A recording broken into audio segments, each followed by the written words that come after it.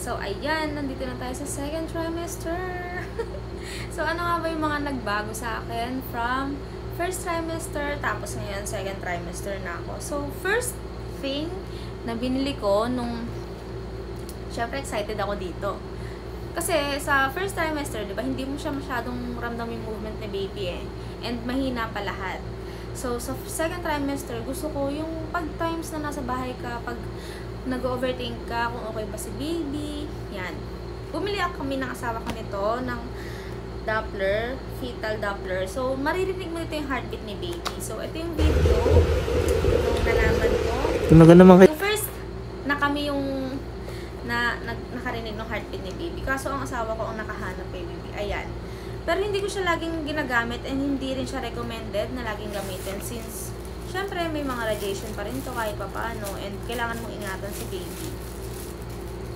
So, ayan, first na binili ko is yung fetal Doppler. Ayan, so, nung pagpasok ko ng second trimester din, nagdagdag na si Doc ng vitamin sa akin. So, nung fourth month is, nagdagdag na ako ng iron, which is sa gabi daw yun iniinom.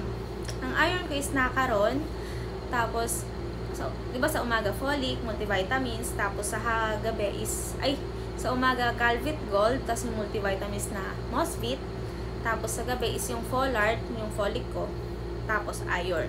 So, yun. Every, every day naman ako nainom ng vitamin. So, ang nadagdag ngayon is iron. So, napansin ko, mas lalong naging block yung poops ko. So, normal daw yun sa mga nagtitake ng vitamins na nagiging dark yung poops nyo. Ibig sabihin lang daw yun is nilalabas talaga ng body nyo yung toxins ng katawan nyo.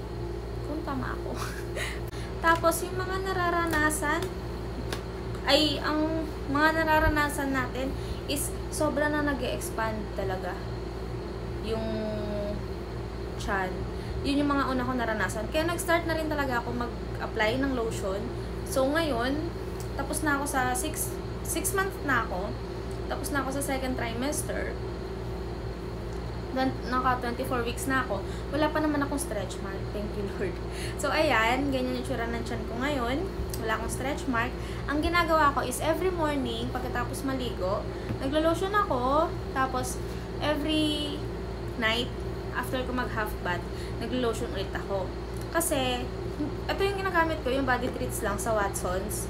Tapos, moisturizing body lotion siya. Natural ingredient talagang hindi ako bumili ng sobrang harmful, yung mga sobrang strong na whitening lotion, yung mga ganyan, since baby ka, may baby ka sa loob eh.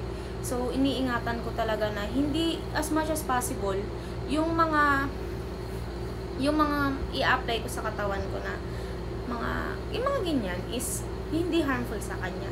Tapos, um, ang nararamdaman ko ngayon during second trimester, yung ano, medyo mabigat na dito sa may hita. Tsaka parang nag expand sa may gilid ng chan mo. Parang nag expand na yung balat mo. parang lumalaki na siya. Tapos may story time lang din. Nung pagpasok na pagpasok ng second trimester ko, April 12, nasa Starbucks kami ng best friend ko. So, ang in-order ko kasi is strawberry. Since mahilig ako sa strawberry, and parang treat ko yun eh, that time. Kasi sabi ng OB ko, pwede naman mag-sweets, pwede tayong mag, mga, yung mga dessert, dessert. Paminsan, wag lang too much.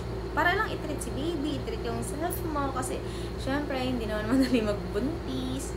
Ayan. So, nagpunta kami ng best friend ko sa Starbucks, tapos pagka-ihi ko, nung pat, medyo patapos na kami, pauwi na, may discharge ako, day.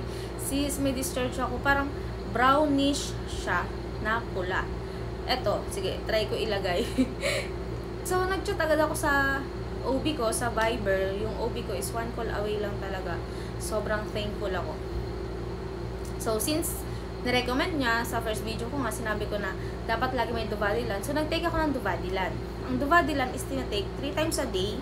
And sabi niya, mag-bed rest ako. Since yung discharge ko naman is brownish, pinkish siya, ganyan. Parang hindi siya fresh blood eh. Parang luma or baka daw dahil sa pagod ko. So, sa stress, ganyan. So, ang ginawa ko, nag-bed rest ako. Ngayon, iniinom ko talaga siya daily. Kahit yung yung the first time na nagka-discharge ako, tapos nag-take ako ng Duvadilan, nag-stop na siya. Pero talagang, ang sabi ng OB ko, dapat ini-stop na siya um, pag nawala na yung dugo. Pero syempre, parang gusto mo to be sure, since bed rest ka naman ng one week, so ininom ko pa rin siya. So, nag-bed rest ako ng one week. Papasok na ako nun. Pasok na ulit ako sa work, babalik na ako. Sis, nag-discharge na naman ako ng blood. Hindi siya blood. Brownish discharge. Pero akala ko blood. Tapos pagod lang daw talaga yun. Kasi hindi siya daily eh. Hindi rin siya napupuno yung napkin mo. Hindi niya napupuno yung panty liner. Tapos, lagi talaga ako nagpa-panty liner nun. Kasi ang healthy, ang healthy discharge is milky white. As in, ayun yung, ayun yung discharge ko the whole first trimester. Nung second trimester ko, pagpasok, yun nga, nag-spotting ako. Ngayon, for 3 weeks ko siyang ininom kasi parang every week, once a week ako nagkaka-discharge. Pero ang sabi ng mga katrabaho kong naging mami na, ano lang daw yun, yung pahabol, yung old, old blood, nung bago ka pa mabuntis, or yung dapat imemens mo siya, dumi lang siya, nilabas, ayan. Pero, from the start na nagkaroon ako ng discharge, sinabi ko sa OB ko, so, sakto, pa-check up na ulit ako nun, ay bumalik talaga ako kinabukasan. Wala namang bleeding si baby sa loob. So, safe siya. Hindi, hindi galing kay baby yung discharge ko. Hindi din galing sa cervix since closed siya. So, it's either talagang nandun lang siya sa loob na may talagang ganong discharge or pagod lang. So, ayun yung naka-help sa akin talaga din na wag, wag, wag mag-worry is yung bumalik ka talaga ng bumalik sa OB mo hanggat, hanggat hindi mo na sure 100% na safe kayo. So, ayun, parang 3 weeks ko siyang ininom. Tapos nung the following check-up ko, sabi talaga ng OB ko, umiinom ka ba ba? So, ayoko magsinungaling. Sabi ko, opo, dok, minsan kapag may discharge ako, sabi niya, kusa daw yun mawawala since hindi naman siya galing sa loob ng katawan, hindi siya galing sa loob ni ng hindi siya hindi siya cause ng pregnancy ko. Hindi siya dahil sa mga placenta, ganyan. So, parang all blood lang siya or yung pagod. Sabi ng doc ko, ng OB ko is, wag kong sanayan yung matres ko na umiinom ng Duvadilan kasi yung Duvadilan is pampakalma ng matres. Kasi pag lagi daw akong umiinom nun, masasana yung matres ko na hindi siya nag- nag-work. So, paano daw pag-iiri na ako? Paano pag manganak na ako? So, ang ginawa ko, in-stop ko na talaga from that day. May 4 yon May 4 yon Mula nun, hindi na talaga ako nagka-discharge. Siguro natapos na lang din talaga yung old, old blood ko.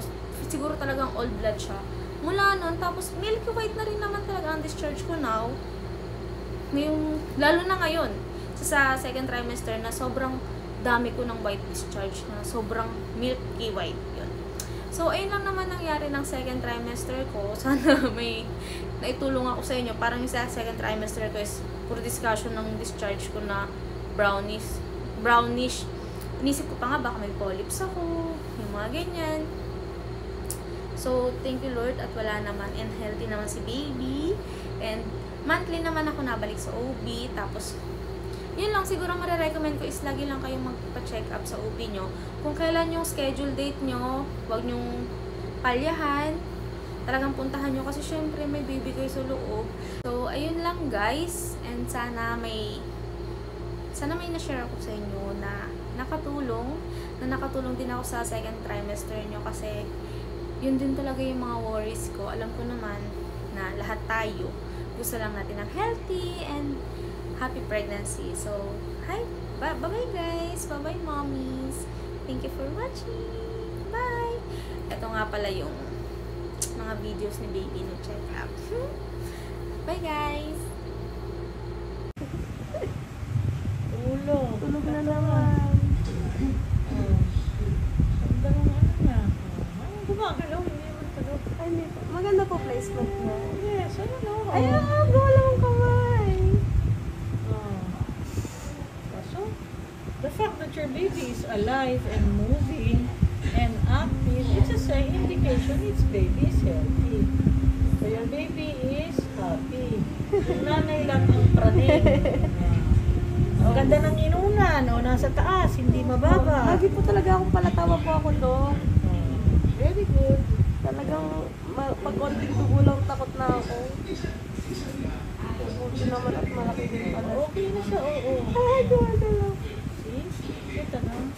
See? Kita na. Nakapo siya ganun. Yung paa niya nakataas. Okay? Oh. So this is a very good, ano, nakastretch yung paa. Ayan. Oh. Diba, wala side. Oh. Opo. So your bleeding is just doon sa labas, ha? Opo. Or sabihin hindi naman nga bleeding, brown brown discharge. Yun yung heartbeat. Opo, opo yung gawa. Mas ramdam ko na nga siya, Dok, lalo po pag nakahiga. Yung Lalo na pulso yun ko po. ngayon. Ngayon yan, mas magalaw na anak siya, ha? Kasi pa five months. So, feel na feel mo na yan, ha? Okay?